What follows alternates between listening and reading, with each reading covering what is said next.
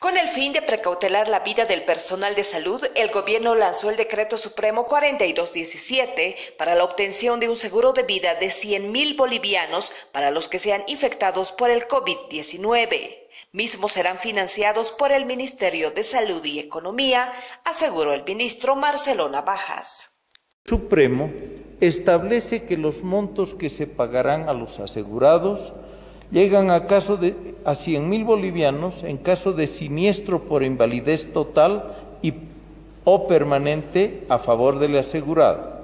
100 mil bolivianos en caso de muerte del asegurado y en favor de los herederos legales. El decreto dicta que estos montos no son acumulables.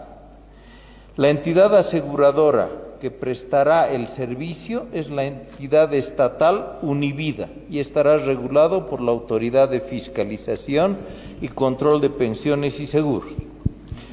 Asimismo, la autoridad indicó que el Ministerio de Salud tiene 10 días para realizar las contrataciones.